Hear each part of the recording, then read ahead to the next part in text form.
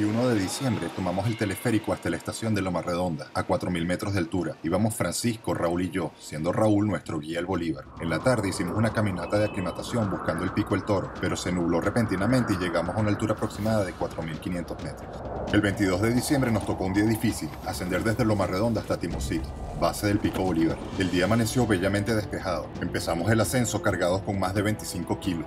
Ya llegando Alto de la Cruz, al dar la vuelta en la última curva, nos encontramos de frente con el Pico Bolívar. La perspectiva desde esa cuesta hacía que el pico se viera enorme.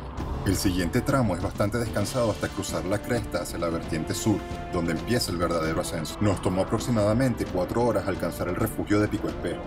Bordeamos por abajo todo el peñón del pico para luego volver a subir a la ruta. Llegamos al campamento, 4.650 metros sobre el nivel del mar, 7 horas después de haber salido de Loma Redonda. El 23 de diciembre salimos a atacar la cumbre antes del amanecer. De pronto volteé a ver lo que habíamos recorrido y me encontré con las primeras luces del alba. Ya con luz del sol llegamos a la escalera, grieta que permite ascender a la pared de la cresta que está coronada por el pico Bolívar. Luego a Roca Táchira, un escalón de unos cuantos metros de altura incrustado dentro de la canaleta. Pasado este obstáculo, llegamos a un nevero bastante endurecido y resbaloso. Poco a poco cruzamos este segundo obstáculo y trepamos hasta la ventana. Luego pasamos hacia el estrecho desfiladero en la cara norte.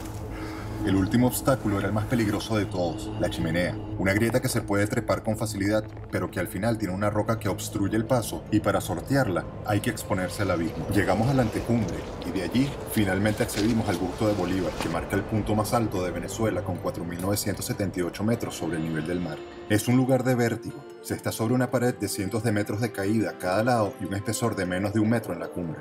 Disfrutamos un buen rato allí, pero luego llegó lo inevitable. El primero en descender fue Francisco.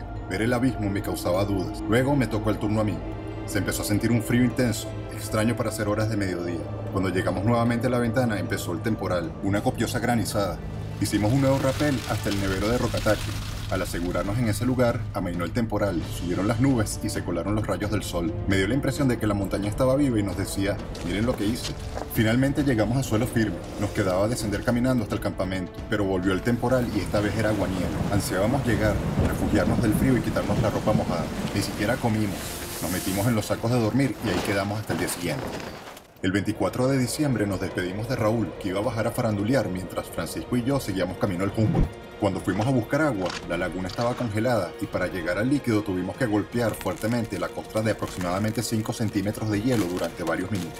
Alrededor de las 11 de la mañana, cuando ya el sol calentaba, salimos a hacer la travesía hasta la laguna del Suero.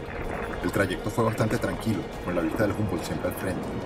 En menos de tres horas estábamos estableciendo el campamento en la laguna del Suero y con bastante calma hicimos una cena montañera de víspera de Navidad. El 25 de diciembre nos levantamos temprano y nos preparamos para la última cumbre de la expedición. Volteando ocasionalmente a la derecha, nos da ánimo la vista de la lengua del glaciar que se desliza sobre la morrena. En dos horas llegamos al collado de Pico Sucre, que parte el glaciar entre la morrena y la cara noroeste.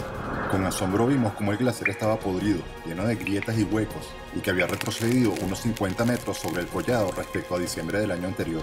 Llegar al glaciar implica tomarse las fotos. Creo que ese lugar es más fotografiado que la cumbre. Subimos, muy alertas de las grietas ocultas, que en esta ocasión eran bastante obvias debido al derretimiento que sufrió el glaciar. Llegando a la roca que forma la cumbre, encontramos grietas que consideramos seguras para entrar y tomarnos algunas fotos. Finalmente trepamos para llegar a nuestra segunda cumbre de la expedición y segunda cumbre más alta de Venezuela con 4.942 metros sobre el nivel del mar. El descenso fue bastante tranquilo. No me había percatado de la soledad hasta que apareció un grupo subiendo, alardeando de su resistencia al clima. El 26 de diciembre, cuando empezó a calentar el sol, abrimos el cierre de la carpa para encontrarnos de frente con la vista de la morrena y la lengua del glaciar. Sin mucha prisa, levantamos el campamento y empezamos el descenso.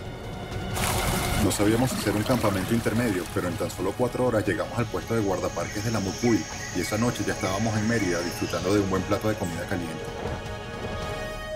Ir a Mérida siempre es especial, pero esta vez regresábamos con la experiencia de haber ascendido a las dos cumbres más altas de Venezuela y por primera vez en 1998 a la más alta de ellas.